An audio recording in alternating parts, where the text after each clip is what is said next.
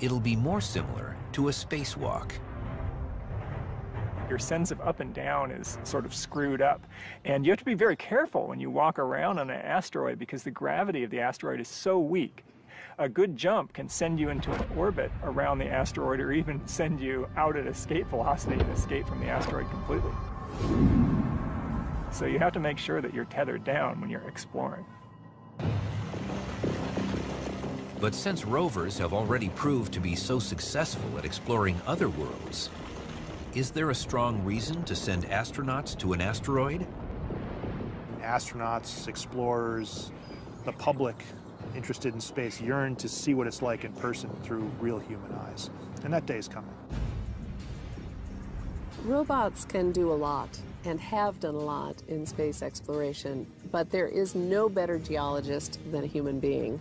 To be a geologist exploring an asteroid and being able to recognize the history of a particular region, looking at familiar types of geological formations, you know just what you want to do. You want to go sample that rock, you don't want to go sample that rock. Asteroids are also important because of the resources they might contain.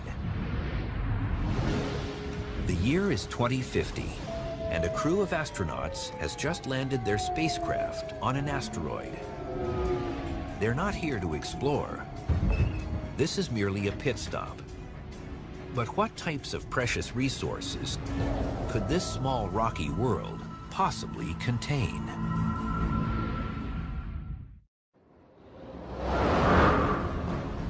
An asteroid attack can wipe out entire species, including humans. But instead of accepting that fate, scientists are trying to learn enough about them to prevent disaster. And asteroids that aren't headed towards Earth may even turn out to be helpful. One of the reasons to visit asteroids and to study them is that they may have some resources that could be useful to future human explorers. And among the most important of those would be ice, water. People are going to need ice to live and drink and use in a practical sense. The year is 2050, and a crew on its way to Mars has just stopped at an asteroid for water and other supplies. The oxygen in the water can be separated to refill the crew's breathing tanks. But there's even more that this rocky supply station has to offer. It's conceivable that with advanced technology, we could go to those asteroids, break down the water, and use the hydrogen and oxygen as fuel to take spacecraft even farther. And there may even be priceless materials to bring back to Earth. Elements so rare and critical to high-tech success they could be the cause of future wars. Some asteroids have platinum and titanium and rare earth elements that are important in many aspects of electronics, which are called rare earth elements for a reason because they're rare on the Earth. They might not be so rare in certain kinds of asteroids. The most important reason to investigate asteroids remains their ability to instantly kill millions of people. Or wipe out the human race altogether.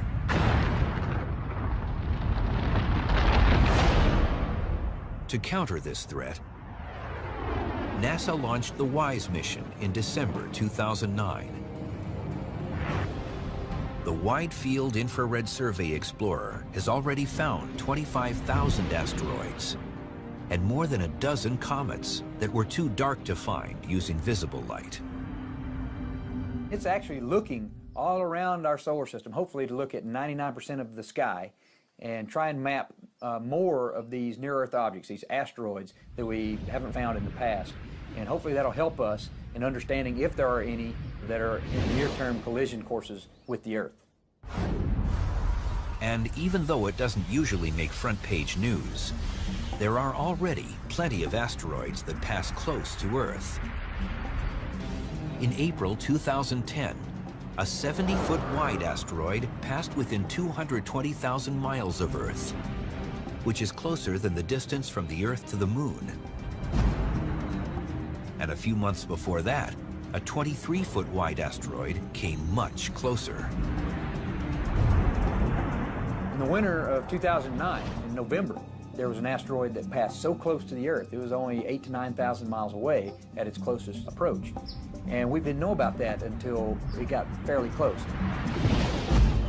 That's about the same distance as flying from Los Angeles to Mumbai, India. And back in 1972, a tourist's camera near the Grand Tetons in Wyoming captured a much closer pass by a similar sized object.